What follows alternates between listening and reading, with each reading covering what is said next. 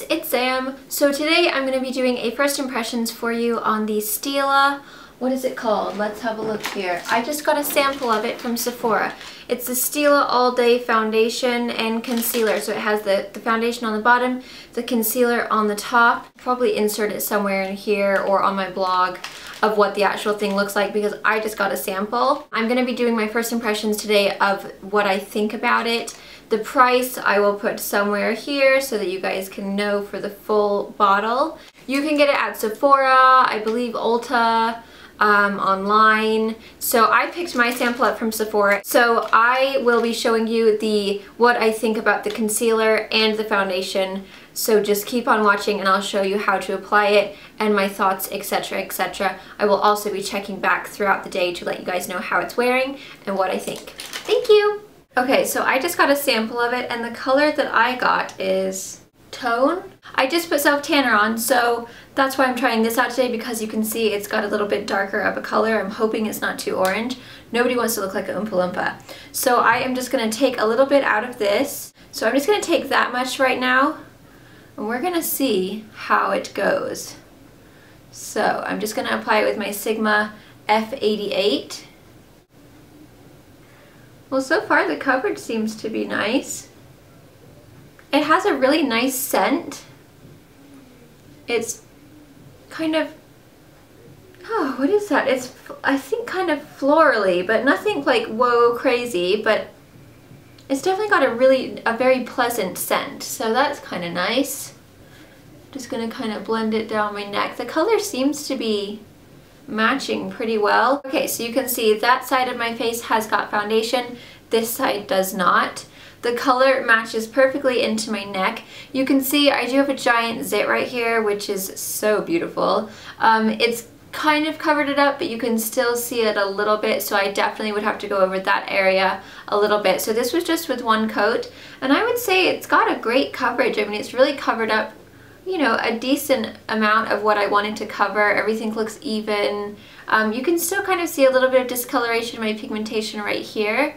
And of course my little zit friend. It's definitely blending very nicely. It's not got a tacky or sticky texture at all.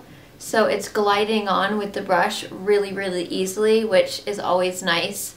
It's not drying super quickly. So you can see it's not covering up the little zits that I have which is kind of a shame. So I'm just going to get a tad bit more and just kind of stipple onto the areas that I have more to cover up. So kind of underneath my under eyes where my pigmentation problems are. And then on this delightful little zit here. With that second coat, you can tell it's covered my zit up a lot better. This one's still peeking through a tiny bit, but everything looks really, really even. Um, it's looking really nice. It's got kind of a nice finish. It gives you like a, you can see my skin still has a bit of a glow. Let's see up close what it looks like. Up close it actually looks really really nice. My skin, it looks like skin. It doesn't look like it's being covered up with a bunch of makeup. Uh, you can still kind of see my freckles coming through on my nose a little bit, but nothing major where it looks bad. Um, it's definitely a beautiful finish. I would say it's a satin finish, and it has a nice glow for sure. Okay, I'm also going to try the concealer that it comes with on the top. And the concealer is a little bit lighter. It, oh, it feels very thick. It's quite a, a thick, whoa, it's kind of tacky almost. I don't know if you guys can tell how it's really, really thick and creamy. So I don't know how much, oh, you, you don't need very much at all. So I'm just gonna pop that underneath. It's definitely tacky for sure. It feels quite thick, so this feels like it might set into my fine lines. We'll see. I'm just gonna blend it out with my P88 from Sigma yeah, it's kind of a really heavy consistency, very thick and really like tacky. I definitely think this would need to be set. I really, I like lighter kind of real thin concealers. So for me, this is definitely not something that I would want to use on a regular basis. As you can see, it's just brightened me up and kind of contoured already. But if I touch, oh yeah, it feels sticky. Ooh, I don't like that. I don't like that at all. So I'm gonna go ahead and set that. I'm gonna do the rest of my makeup and then I will be back to let you guys know how I like it. Okay, so I've applied the rest of my makeup. The color, if you're a self tanner or if, if you're a spray tanner or whatever, definitely matches really well because it has that warmth. I don't want to say orange, but it definitely has that kind of warmer tone to it. Sometimes if you have self-tanner on and then you put a foundation on, it can tend to look ashy where your face doesn't match your body. So this really matches super duper well. Everything blended on really, really well. I did set the concealer and uh, as of right now, it's really nice. I'm just going to go ahead and get my mirror and really take a close look. So everything is looking really nice. It looks like skin. It has a nice kind of satin finish. The under eyes are not wrinkling, but because I set it. My blush applied really nicely on top. Everything just blended out really well over it. So, so far I'm really impressed. The I will just have to let you guys know how it wears throughout the day, if it oxidizes, how it lasts, does it go blotchy or whatever. So I don't know what time it is right now. I think it's around noon and then I'll keep checking back throughout the day to let you guys know what it looks like and what I'm thinking of it. I'll be back in a bit. Okay, I'm back. It is 8.08. Can you see that? Yes, you can. 8.08. Let's have a looky. Okay, so um, I'm definitely really, really oily. I don't know if you can tell here, over here, like it's it's kind of all over. It's not even in the T-zone. It's like even kind of over towards the side of my cheek. My chin is definitely very oily. My forehead is like greaserama. So definitely if you're someone who's really, really oily, you might want to at least blot or touch up with powder or both throughout the day. As far as uh, the longevity of it, is that how you say that word? I hope so. It's lasted really, really well. There's no splotchiness, there's no blotches, there's no it falling apart or getting lumpy or bumpy or gross. Everything is exactly where I put it earlier.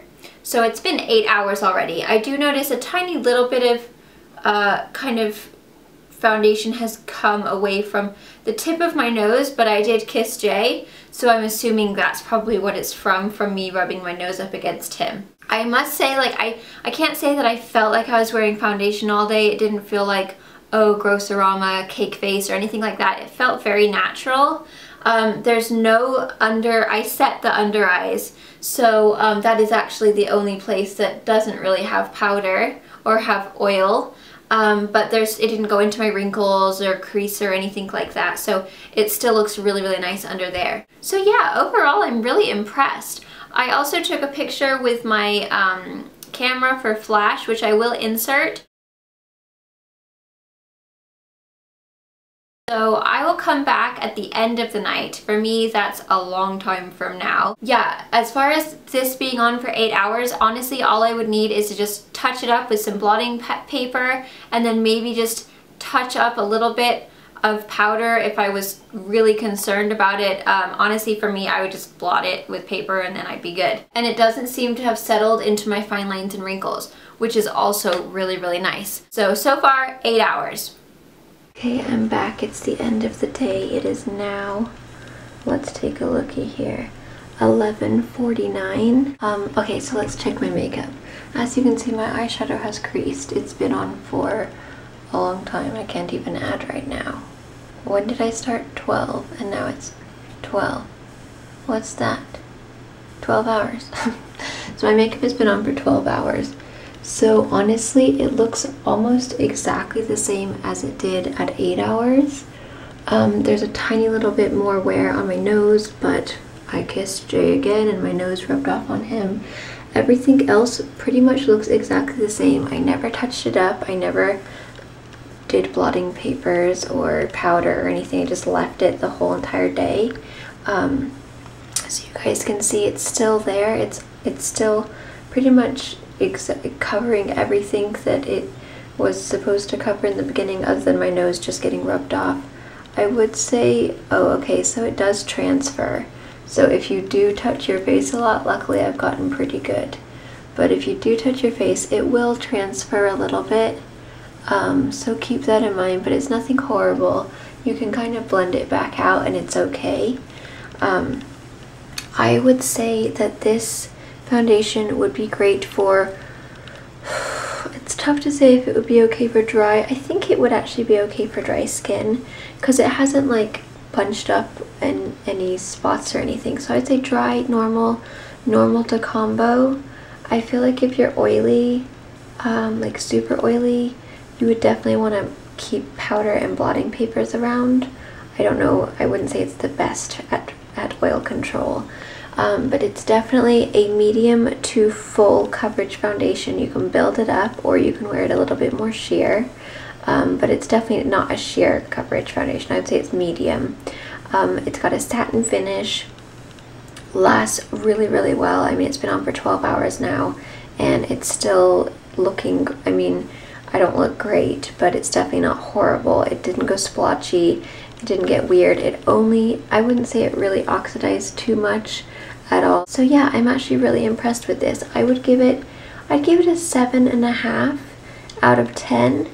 Um, the reason that I don't give it a full 10 is because of the oil. You know, it did get a little bit greasy. Um, and the, the fact that it transfers, you know, uh, you can definitely feel it on your skin when you touch your face and I prefer something that I feel like if I touch my face it's not going to get swiped off. I hope that's helped you guys. Thank you so much for watching and I will see you in my next video. Let me know if there's any other uh, first impression videos that you'd like to see of some foundations or new products, whatever. Just let me know in the comments below. So thanks again for watching guys. Bye! Don't forget to subscribe and like. Mwah.